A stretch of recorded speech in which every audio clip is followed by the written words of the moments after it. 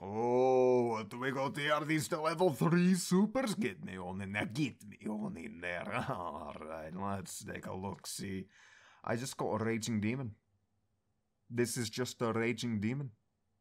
I mean, don't get me wrong, Akuma's cool and all, but it's just a Raging Demon. Maybe it's, you know, let's, let's look a little deeper, see what's going on. It's a counter super. I can't confirm into that one, I'll tell you what. No, no, just hope the opponent hits a button. Oh, that's fine, that's fine.